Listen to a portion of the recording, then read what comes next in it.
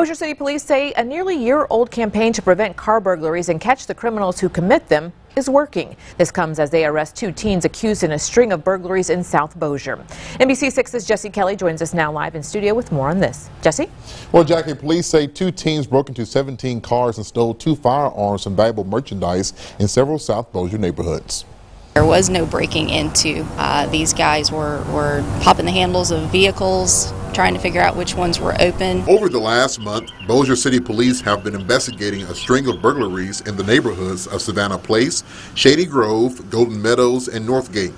They say it's important not to leave your belongings in plain sight. You leave something of valuable value on your seat that you can see through the window, then that's a target for a criminal. The Bossier City Police Department wants to remind citizens about their lock campaign.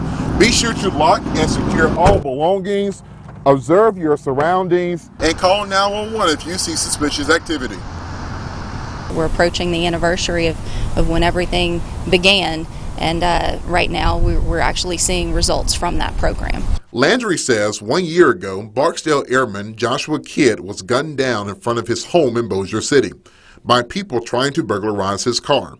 She says that is what prompted Bossier City Police and the Sheriff's Department to create the Lock campaign.